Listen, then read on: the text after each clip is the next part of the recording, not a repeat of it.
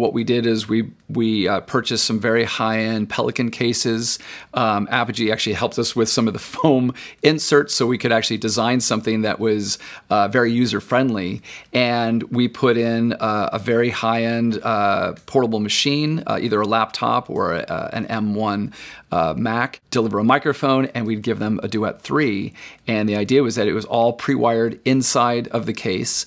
Um, the actors didn't have to do anything other than open up the case and turn it on. And in the front, we've got a microphone connector, we've got a headphone connector, and an Ethernet connector.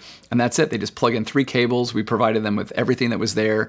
Um, everything was sanitized ahead of time and shrink wrapped and delivered to their doorstep. So Apogee was really instrumental in us being able to have this sort of COVID response team where we could send these rigs out to the actors' homes and they could continue to work. And I think we shipped about 60 games during COVID just using our PCB remote rigs.